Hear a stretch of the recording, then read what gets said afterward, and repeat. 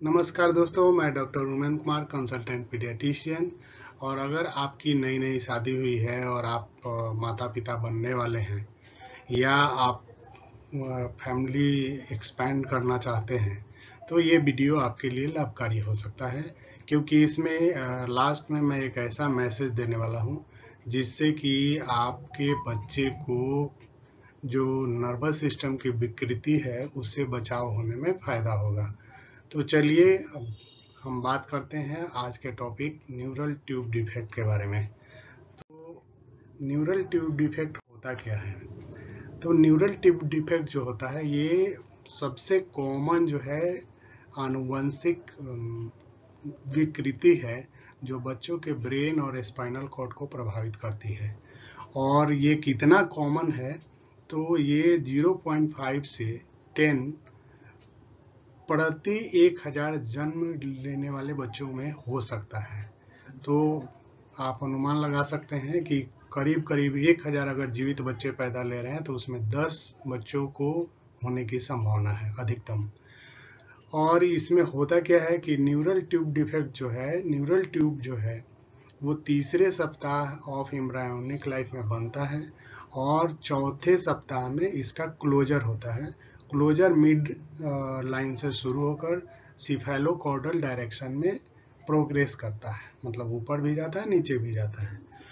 इसी क्लोजर में neural tube के क्लोजर में अगर डिफेक्ट हो जाए तो ये बहुत सारे न्यूरल ट्यूब डिफेक्ट जिसमें कि एनएनसीफेली इंसिफेलोसील स्पाइना बाइफिडा मेनिंगोसील और मेनिंगोमाइलोसील आदि विकृतियाँ जन्म लेती हैं। तो ये अलग अलग प्रकार हैं। इसमें हम लोग बात करेंगे कि किसमें क्या होता है। लेकिन ये विकृति जो आपका प्रेगनेंसी का शुरू का एक महीना है, उसमें ज़्यादा होने की संभावना है। इसके कारण क्या है? तो इसके कारण जो है, एग्जैक्ट कारण अभी भी मालूम नहीं है, इस पर रिसर्च चल रही है। लेकिन सबसे जो कॉमन कारण है, वो है फॉलिक एसिड डिफिशियंसी एक विटामिन है जिसकी डिफिशियंसी होती है।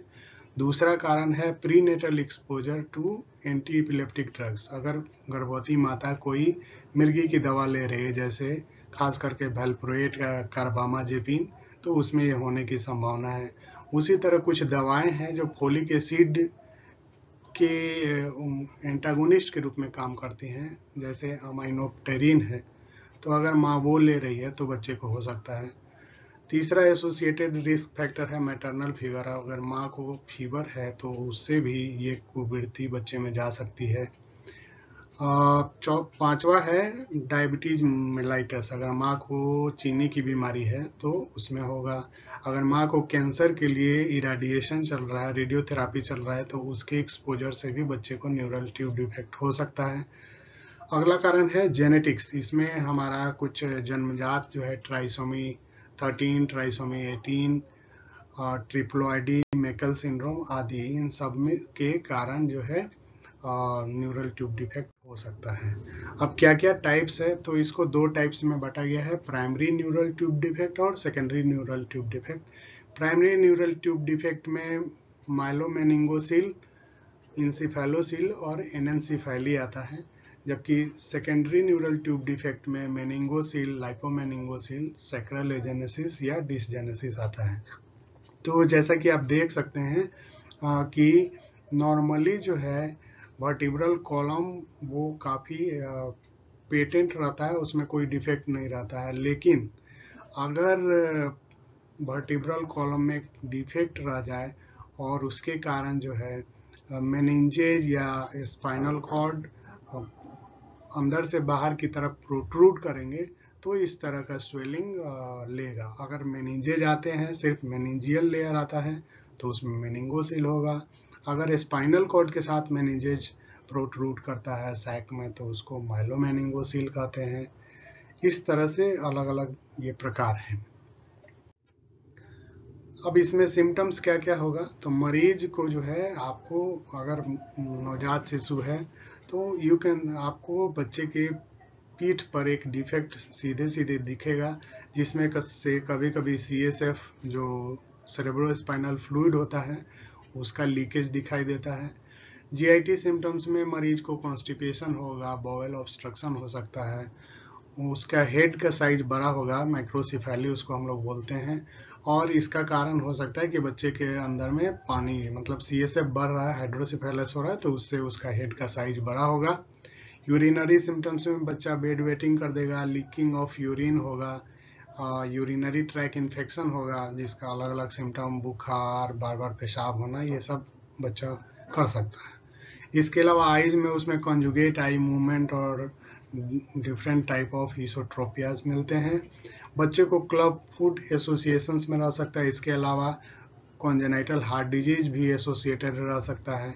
स्किन में टफ टफ हेयर या बर्थ मार्क आपको कभी कभी देखने को मिलेगा।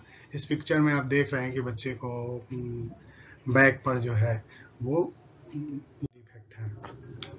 अब डायग्नोसिस इसका कैसे करेंगे? तो आजकल मेडिकल साइंस इतना एडवांस हो गया है कि आप प्री नेटल मतलब बच्चा जब माँ के गर्भ में है, तभी न्यूरल ट्यूब डिफेक्ट का पता लगा सकते हैं। और इसमें मैटरनल सेरम अल्फ़ा फीटोप्रोटीन जो कि 16 टू 18 वीक्स में एंड प्री नेटल अल्ट्रासोनोग्राफी मतलब माँ का अल्ट्रासोनोग्राफी कराने and rapid acquisition of fetal MRI करने से साथ साथ आप जो है अल्फ़ा फीटोप्रोटीन और एसिटाइल कोलिन स्ट्रेज एंजाइम का अगर एमनियोटिक फ्लूइड में टेस्ट कराते हैं तो इससे काफ़ी हद तक माँ के गर्भ में ही पता चल जाता है कि बच्चे को कोई न्यूरल ट्यूब डिफेक्ट है कि नहीं। तो इसमें दो बात है, माँ के खून से अल्फ़ा बीटा प्रोटीन का जाँच करना है और अल्ट्रासोनोग्राफी करना है एमआरआई करना है और एमनियोटिक फ्लूइड निकालकर उससे, उसमें भी अल्फ़ा प्रोटीन और एसिटाइल कोलिनस्ट्रेज के लेवल का अगर जाँच करते हैं तो पता चल जाता है। जब एमनियोसेंटेसिस आप कर रहे हैं तो उसमें कैरियो टाइपिंग कर लेंगे, उससे पूरा जेनेटिक डिटेल्स बच्चे का पता चल जाएगा कि कोई एसोसिएटेड सिंड्रोम्स वगैरह तो नहीं है। पोस्ट नेटल यानी बच्चा जब पैदा हो गया तो मोस्टली इसका डायग्नोसिस क्लिनिकल होता है। आप जैसा कि इस पिक्चर में भी देख रहे हैं कि बच्चे के बैक में एक डिफेक्ट दिख रहा है।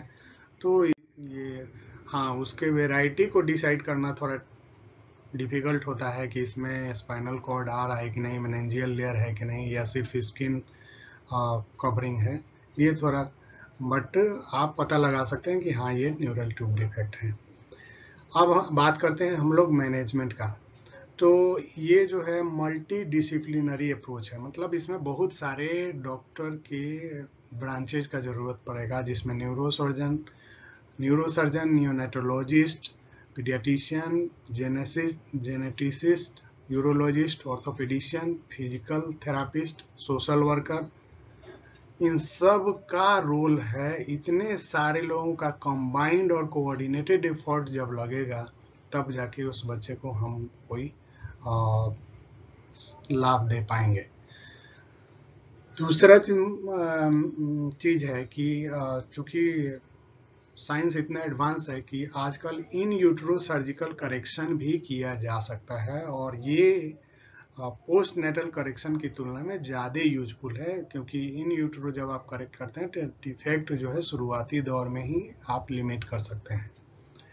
पेरीनेटल पीरियड में आप क्या कर सकते हैं? तो आप सीजेरियन सेक्शन जो है, माँ के ऑनसेट जो लेबर पेन ऑनसेट होने वाला है मतलब लेबर पेन शुरू होने वाला है, उससे पहले ही कर सकते हैं, जिससे कि जो मैनेजियल सैक है, वो रप्चर नहीं हो और उससे कोई लीकेज नहीं हो, उसमें कोई डैमेज नहीं हो। अदरवाइज़ वहाँ पर इन्फेक्शन होने का चांस रहता है।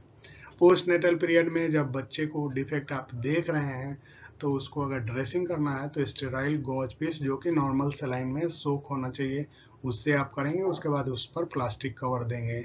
बच्चे को प्रोन पोजीशन में आप नर्स करेंगे। मतलब ज़्यादा प्रोन पोजीशन में लेटा कर रखेंगे ताकि उस स्वेलिंग पर कोई प्रेशर इफ़ेक्ट नहीं पड़े।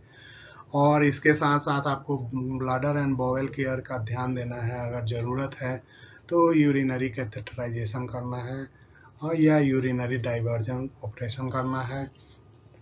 इसका डिफिनेटिव करेक्शन जो है सर्जरी से है वो न्यूरो सर्जन करते हैं, वो डिफेक्ट को क्लोज करते हैं। एक महीने के अंदर अगर ऑपरेशन किया जाए तो वो ज़्यादा फ्रूटफुल रहता है, इसके लिए आप न्यूरोसर्जन की सलाह ले सकते हैं। अब सबसे ज़रूरी जो स्लाइड है, जिसके लिए मैं इतना परेशान हूँ, वो है प्रिवेंशन तो जी हाँ आप सिर्फ़ एक दवा खाकर इतनी भयानक विकृति से अपने बच्चे को बचा सकते हैं। तो वो क्या है?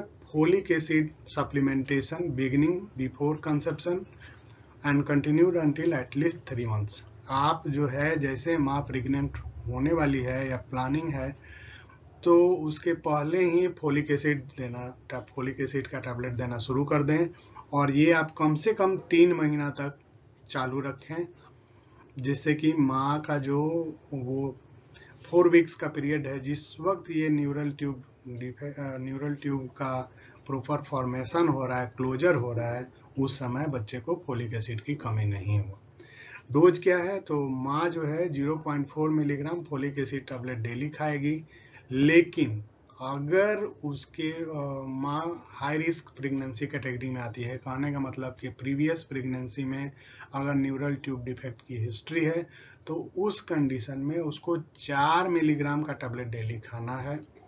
कुछ डाइट सोर्सेज भी है जो फोलिक एसिड में रिच हैं, आप उनको भी अपने डाइट में इंक्लूड कर सकते हैं, जिसमें राइस है इनरिच्ड ब्रेड है बीन्स एंड पीज है मतलब मटर और ये दालें हैं। एग योक है मिल्क है ग्रीन लिफी वेजिटेबल्स है स्पाइनेच है मिल्क है एवोकाडो है, ये सब जो डाइट है, इससे आप लेकर फोलिक एसिड लेकिन सबसे ज़रूरी है कि फोलिक एसिड जो है प्रेगनेंसी शुरू होने मतलब जैसे आप प्लान कर रहे हैं प्रेगनेंसी का उस समय से माँ को देना शुरू कर दीजिए और कम से कम शुरू के तीन महीनों तक उसको दीजिए। ताकि बच्चे को इस भयानक विकृति से बचाया जा सके, क्योंकि कितना भी अच्छा आप सेंटर में जाएँगे तो इसके डिफेक्ट को रिपेयर करना काफ़ी चैलेंजिंग होगा। और बच्चे का मॉर्बिडिटी मतलब उसके मॉर्बिडिटी और मोर्टेलिटी को घटाना इतना आसान टास्क नहीं होगा। लेकिन एक, ये प्रिकॉशन ऐसा है जिससे आप इसे बचा सकते हैं। तो ये थी आज की सबसे महत्वपूर्ण जानकारी। इसके साथ ही वीडियो को देखने के लिए आप सबों का बहुत बहुत धन्यवाद।